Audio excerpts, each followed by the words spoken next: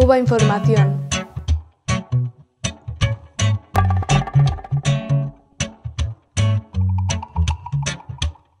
A pesar del silencio en la prensa, las vacunas cubanas frente a la COVID-19 generan todo tipo de elogios a nivel internacional.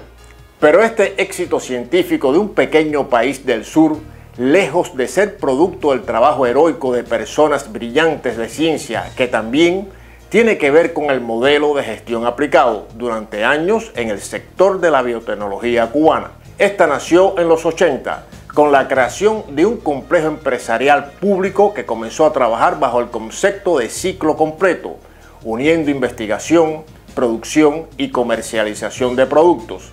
La dirección de las empresas fue seleccionada entre jóvenes comprometidos con su país, que recibieron formación en otras naciones. Allí conocieron importantes experiencias de desarrollo científico y empresarial.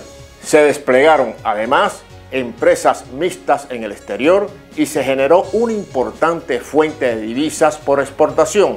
El éxito de la biotecnología cubana es, por tanto, producto de la voluntad política y de su modelo de gestión empresarial, que ahora se intenta aplicar en otros sectores de la economía del conocimiento en Cuba, en la informática, en las nanotecnologías o en la inteligencia artificial. Con la biotecnología como palanca de desarrollo, Cuba podría conectarse de manera estratégica en la economía internacional. Conseguirlo bajo bloqueo, en condiciones de guerra, sería una hazaña histórica.